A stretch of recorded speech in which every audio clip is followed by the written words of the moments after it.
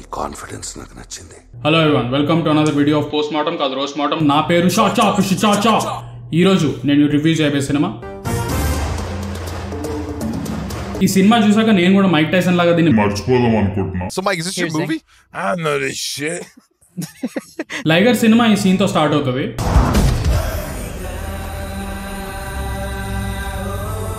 ఈ యాక్సిడెంట్ అది కరెక్ట్ చేస్తుంటే ఐదు నిమిషాలు అయిపోయేది కదా హాయిగా. అబ్బాయిలకి నరకం చూపించడానికి. దేవుడు ముద్దుగా చేసుకున్న బొమ్మలు అమ్మాయిలు. లైగర్ చిన్నప్పుడు వాళ్ళ అమ్మని బొమ్మల కోసం ఎలా అడిగాడో? మా అమ్మ నాకు ఆ రిమోట్ కంట్రోల్ కార్ కావాలి. మా అమ్మ నాకు ఆ బేబ్లేడ్ కావాలి. మా అమ్మ నాకు యాక్చువల్లీ ఆ బొమ్మలు అమ్ముతున్న అమ్మాయి కావాలి. వద్దురా నా మాట విను. వాటికి రిమోట్ కంట్రోల్ ఉండవు. నీకు కావాల్సినట్టు ఆడుకోలేవు. నీతోనే ఆడేసుకుంటాయి.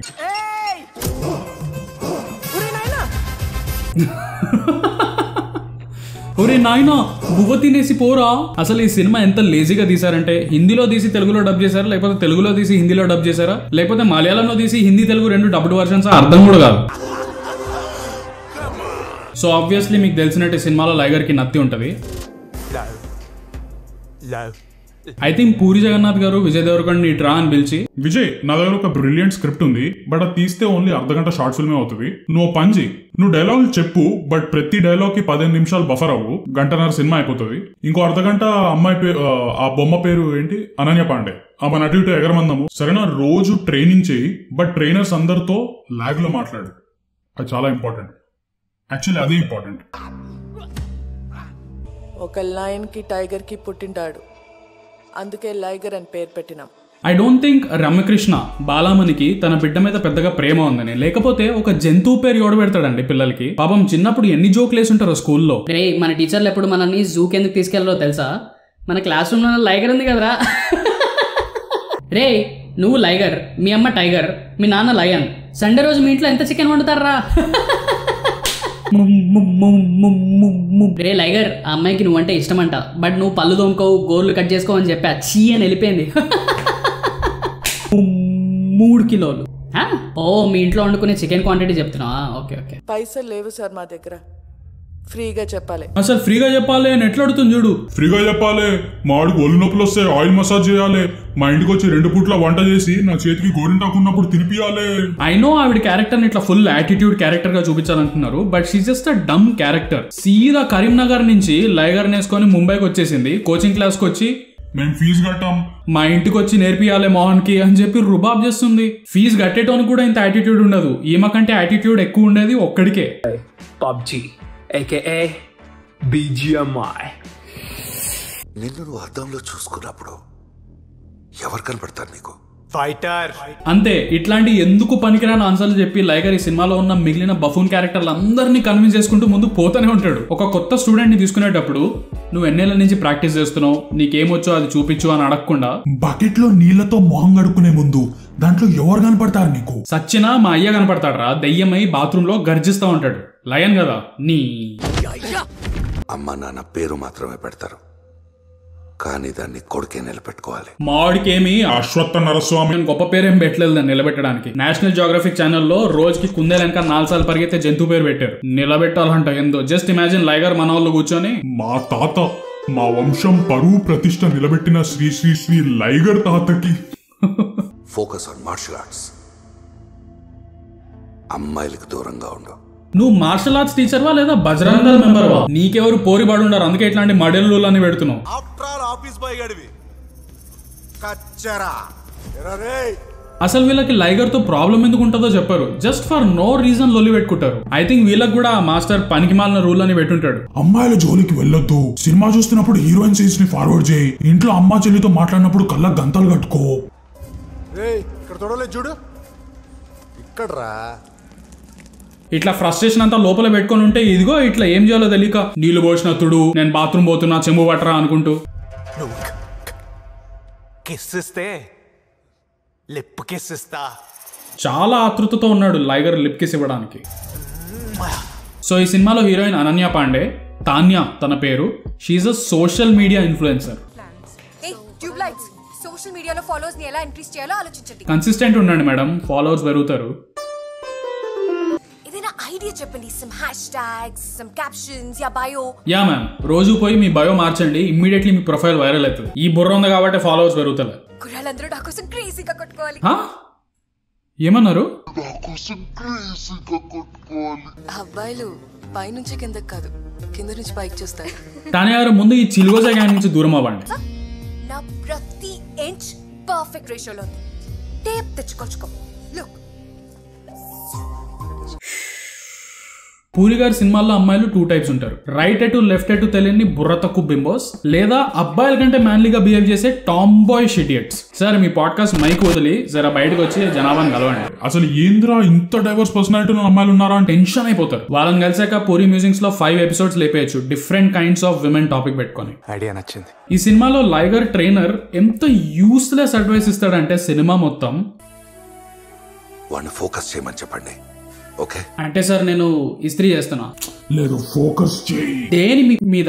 లైగర్ అని వైల్డ్ యానిమల్ పేరు పెట్టుకుంటే సరిపోతుందా? ఫోకస్ చేయి బే. Anyways coming back to Pandey madam ఆమె కాస్ట్యూమ్స్లో పెట్టిన పావు వంత్ టైం కూడా ఆమె క్యారెక్టర్లో పెట్టలేదు కాబట్టి సీదా ఆమె లైగర్ ఇంటికి వచ్చేస్తుంది ఊపుకుంటూ. ఇప్పుడు మీరు అనుకోవచ్చు టూ డేస్ ముందు కోపం ఉన్న మనిషి హలో మిస్టర్ ఒక ఫైట్ చూసి ఎలా ఫ్లాట్ అయింది అని. ఇన్స్టాగ్రామ్ ట్రెండ్లకి అలవాటు పడి ఆమె బుర్ర కూడా ఏ విషయం టూ డేస్ కంటే ఎక్కువ గుర్తుంచుకోదు. ఎనీవేస్ నెక్స్ట్ సీన్లో తానియా గారు బాలామణి గారు రాత్రి తిన్నదరక్క గుడిలో లొల్లు పెట్టుకుంటారు. నువ్వు ఎన్ని యాంగిల్ పెట్టినా ఒక్క ఎదవని వెంట రాడు. చచ్చే ఉంటాడు. గుడిలో పూజారి వీళ్ళ ప్రవచనాలు విని ఎలా గుడి గంట పీకి వీళ్ళ నెత్తి పగలగొట్టి లెఫ్ట్ లెగ్తో బయటికి తనలేదా అని ఆలోచిస్తున్నా. అసలు వీళ్ళ ప్రవర్తన చూసి ప్రపంచంలో ఉన్న అన్ని గుళ్ళ నుంచి వీళ్ళని బ్యాన్ చేయడమే కాకుండా ఇంట్లో ఒక్క దేవుడి ఫోటో పెట్టుకోవడం కూడా పర్మిషన్ ఇవ్వకూడదు వీళ్ళకి. ఈ యాక్టర్ రితన్ పేరు Vamshi. I feel bad for him మనల్ని పురుగుల్ని చూసినట్టు చూశాడు. మొన్న ఒక రోజు ఆడి చెల్లితో మాట్లాడేందుకు పాపం పూరి సార్ సినిమా తీసినప్పుడల్లా ఈయన మూడు రోజుల ముందు నుంచే ప్రతిరోజు పొద్దున్నే లేచి వేడి నీళ్ళలో తేనె కలుపుకొని తాగుతారు. ఎవ్రీ డైలాగ్ గొంతులో ఎపిగ్లాటిస్కి బొక్క పడేలా అరిచి చెప్పాలి కదా. వంశీ ఇదిగో నీ డైలాగ్ పేపర్ నువ్వు ఎవరిదైతే సీన్ చేస్తున్నావో వాళ్ళు నెక్స్ట్ పట్నంలో ఉన్నారని ఊహించుకో. ఆసం వంశీ కుమ్మేసాం అంతే. రే వేణిలు పట్టరా. నెక్స్ట్ సీన్లో లైగర్ తానియాకి ఒక కన్ఫెషన్ చేస్తాడు. మనకు నత్తుంది. నీకు తెలుసా? గాడ్ అదే కదా నాకు ఇష్టం ఇది గుర్తుపెట్టుకోండి తర్వాత మాట్లాడదాం. నిన్న రాత్రి జేకేడి నుంచి ఇద్దరు వచ్చారు. నాకెందుకు వాళ్ళని చూస్తే డౌట్ వస్తుంది. మీ ఎదురుగా కూర్చొని కోల్గేట్ అడ్వర్టైజ్మెంట్కి ఆడిషన్ ఇస్తున్నట్టు పళ్ళు అని ఎక్కిలిస్తుంటే ఆబ్వియస్లీ వాళ్ళే. సో లైగర్ వాళ్ళని కొడతాడు. అండ్ లైగర్ని వాళ్ళ మాస్టర్ కొడతాడు. నేనే హీరో అనుకుంటున్నావా? ఏ లైన్ కా బేటా అరే నువ్వు వాడికి పుట్టలేదు.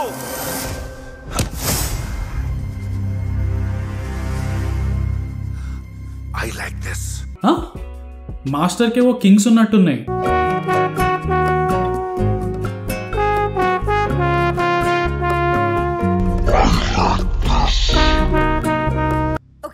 So twenty fifth is my birthday నువ్వు ఆ టైంకి వచ్చేసి నన్ను లేపుకెళ్ళాలి. ఎందుకు వై? ఎందుకు లేపుకెళ్ళాలి? ఒక్క రైమ్ ఆర్ రీజన్ లేదు. జస్ట్ ఉత్తినే. ఈ సినిమాలో ఒక్కొక్కరికి ఒక్కొక్క విచిత్రమైన కింక్ ఉంది. ఆ మాస్టర్ ఏమో నా గొంతు పట్టుకో నా నడ్డి మీద మోసేతో కొట్టు అంటాడు. ఈ తానేమేడేమో బర్త్డే రోజు నన్ను లేపుకెళ్ళు న్యూ ఇయర్స్ రోజు మా నాన్నకు దమ్కి వ్యాలంటైన్స్ డే రోజు మా అమ్మని దంపే అంటది. మొత్తం అందరికీ ఒకటే ఇన్స్ట్రక్షన్ వచ్చిందా? బుర్ర తక్కువ ఏదో అలా బిహేవ్ చేయండి అని. ఓరిని నువ్వు ఈ థింగర్ మేడం మాటలేని ఎగ్జిక్యూట్ కూడా చేసావా? హీరో ఈ నత్తి నా కొడుకుని హీరోనా? I love you!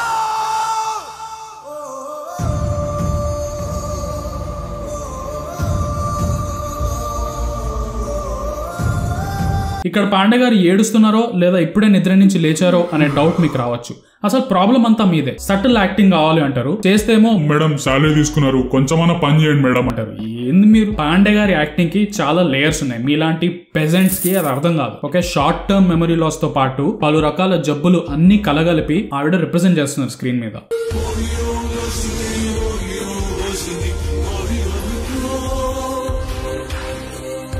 So obviously Tania లైగర్తో బ్రేకప్ చేసుకుంటది. Going to Hollywood to pursue my career in acting. మీకు అవసరం లేదు మేడం నన్ను అడిగితే. సో ఇలా బాధలో ఉన్న లైగర్ని ఓదార్చడానికి ఉన్నది ఎవరు? అమ్మ.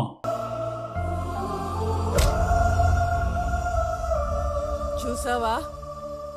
కర్ర రెండు ముక్కలైంది. రెండో ముక్క ఎక్కడ మేడం? ఇంకా అట్లనే ఉంది కదా. అరే ఇంత చిన్న పాయింట్ ఎందుకు మెన్షన్ చేస్తున్నావు అని అనుకోవచ్చు. బట్ ఐమ్ జస్ట్ సేయింగ్ ఎంత లేజీగా తీశారు అనేది పాయింట్ అవుట్ చేస్తున్నా అంతే. ఓ షెట్ పాయింట్ అవుట్ అంటే గుర్తొచ్చింది. ఈ వీడియో స్పాన్సర్ మేమే. మాకు ఒక పాడ్కాస్ట్ ఉంది పాయింట్ ఏంటంటే అని. దానికి ఒక సపరేట్ యూట్యూబ్ ఛానల్ పెట్టాము. మొన్న దీంట్లో కూడా ఇష్మా శంకర్లు కూడా ఎలక్ట్రానిక్ చాలా వేసాడు కదా. నేను చూడలేదు. ఇస్మార్ట్ BGM. శంకర్ నేను చూడలేదు. ఆ, నేను చూడలేదు. విన్నదే. చూడాలనుకోవలేదు కూడా. యాక్చువల్లీ ఏ చూడబే దాంట్లో రెండు చిప్పులు ఉంటే ఇట్స్ గ్రేట్ ఫిల్మ్ ఈ పాడ్కాస్ట్ మొత్తం వినాలి అనుకుంటే ఈ వీడియోకి ఫస్ట్ కమెంట్లో ఉన్న లింక్ మీద క్లిక్ చేయండి. Thank you so obviously Liger full train అయ్యి బాడీ పెంచుతాడు. వీళ్ళకేంది చెవిపోట? ఇదేంది? ఇదేం reaction so Liger and Sanju Sanju is uh, Tanya వాళ్ళ అన్న వాళ్ళిద్దరికి ఫైట్ అవుతుంది అండ్ ఆబ్వియస్లీ లైగర్ గెలుస్తాడు.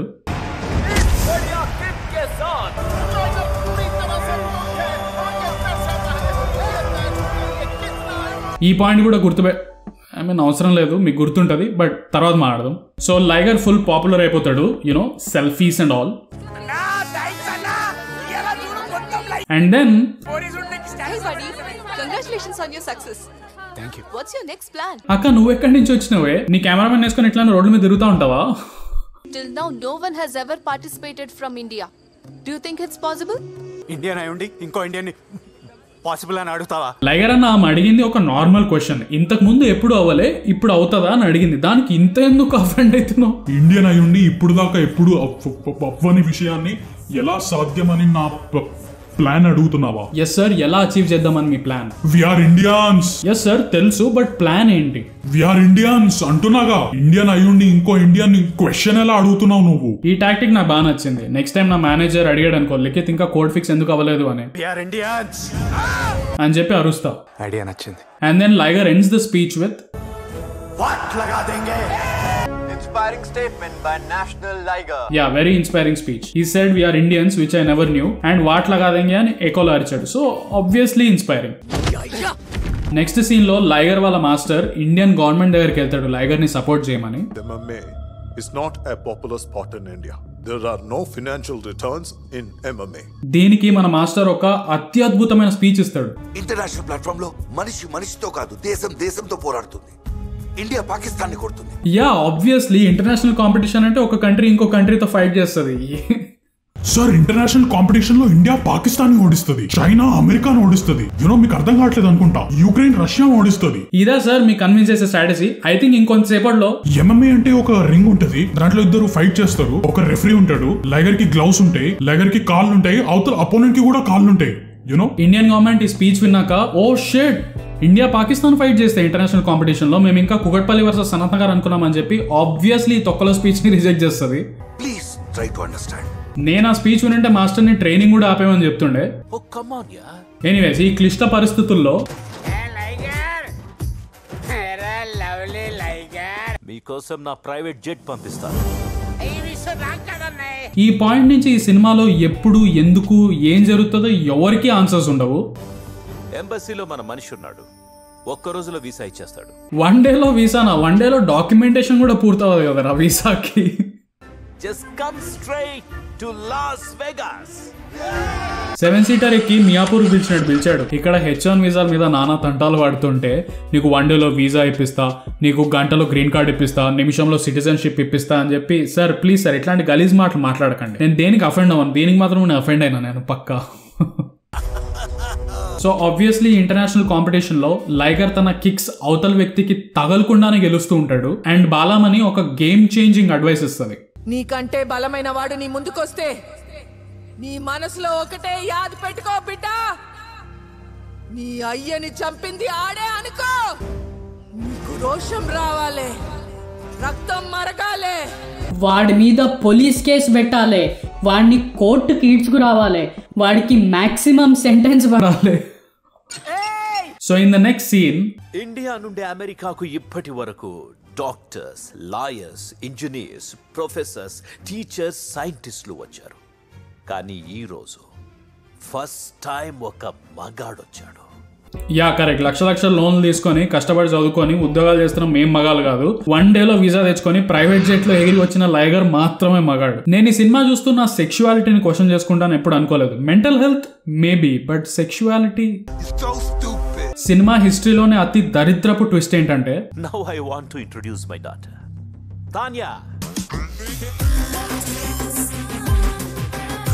Sir మీరు రియల్ లైఫ్లో ఫాదర్ డాటర్ కదా? సినిమాలో కూడా అదే ప్లే చేసేయండి. బట్ దాన్ని సెకండ్ హాఫ్లో రివీల్ చేద్దాం. అసలు ట్విస్ట్ మైండ్ బాగ్లింగ్ ఉంటుంది నీకు చేతబడి చేస్తా. నీ పెండి బొమ్మ.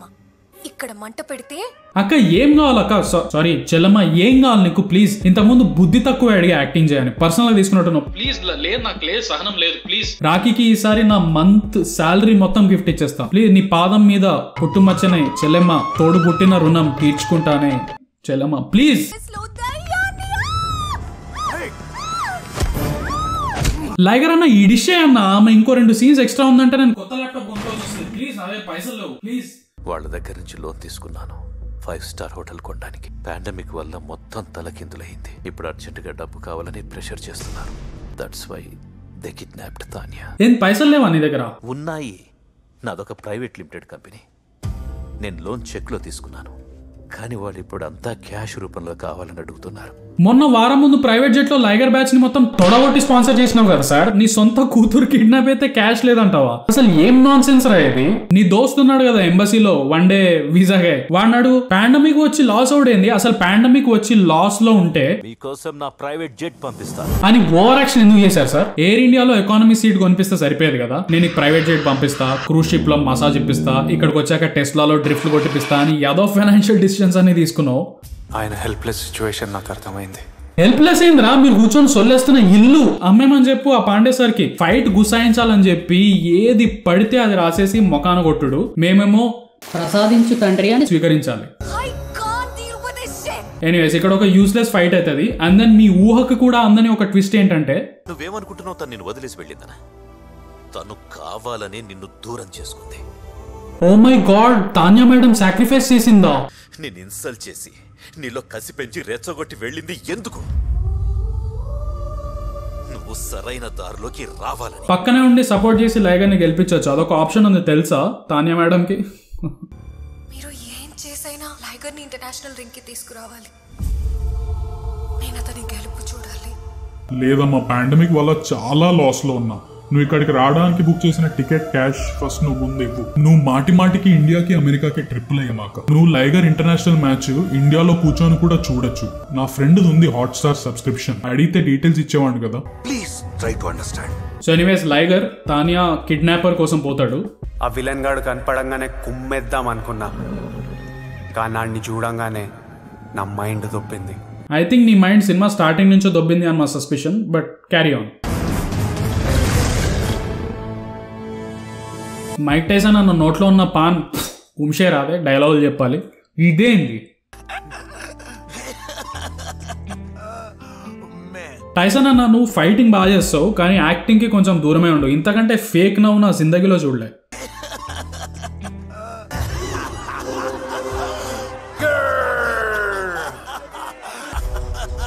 అండ్ దెన్ లైగర్ టైసన్ అన్న ఇద్దరు ఫైట్ చేయడం స్టార్ట్ చేస్తారు అండ్ ఎంఎంఏ ఇంటర్నేషనల్ కాంపిటీషన్ వాళ్ళు రింగ్లో అవ్వాల్సిన ఫైట్ చూపించడం మానేసి అక్కడ ఎవరో లైవ్ స్ట్రీమ్ చేస్తున్న దాన్ని చూపించడం స్టార్ట్ చేస్తారు Someone is streaming!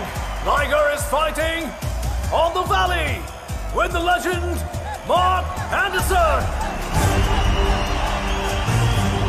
అసలు ఈ పాయింట్కి ఏం అనాలో కూడా నాకు అర్థం కావట్లే. ఐ హావ్ నో వర్డ్స్ అంటే అక్కడ టికెట్లు కొనుక్కొని వచ్చిన వాళ్ళ పరిస్థితి ఏంది? ఇట్స్ లైక్ వేలు వేలు పైసలు పెట్టి India Pakistan cricket match stadium లో చూద్దామని పోతే అక్కడ Sachin and Wasim Akram net practice live stream చూపిస్తే ఎట్లుంటది?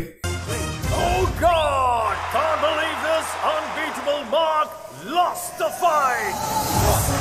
సో టైసన్ అన్న లైగర్ చేతిలో ఓడిపోతాడు ఆబ్వియస్లీ లేదు మేము మీకు థ్యాంక్ యూ చెప్పాలి sir. Thank you thank you so much ఇలాంటి కళాఖండం మా మీద వదిలినందుకు thank you thank you so much guys for watching the video ఈ వీడియో నచ్చితే లైక్ చేయండి షేర్ చేయండి మీ ఫ్రెండ్స్ అండ్ ఫ్యామిలీతో అండ్ ఆల్సో సబ్స్క్రైబ్ చేయండి మా ఛానల్కి ఇంతకుముందు వీడియోలో చెప్పినట్టు మా పాడ్కాస్ట్ పాయింట్ ఏంటంటే మేము ఒక సపరేట్ యూట్యూబ్ ఛానల్ పెట్టాము. మీకు మా పాడ్కాస్ట్ వినాలి చూడాలి అని ఇంట్రెస్ట్ ఉందంటే ఆ ఛానల్కి సబ్స్క్రైబ్ చేయండి. అండ్ ఆల్సో మేము డిస్కార్డ్ ఓపెన్ చేసాము డిస్కార్డ్ సర్వర్ రోస్ మోడమ్కి మీరు దాంట్లో జాయిన్ అవ్వాలి అనుకుంటే డిస్క్రిప్షన్లో లింక్ ఉంటుంది. Please come there we will have fun video calls చేద్దాం సొల్లేద్దాం మేము షేర్ చేసుకుందాం. లెట్స్ హ్యావ్ ఫన్ దేర్ వచ్చేయండి అక్కడికి డిస్కార్డ్కి that's it for the video thank you again thank you so much tata bye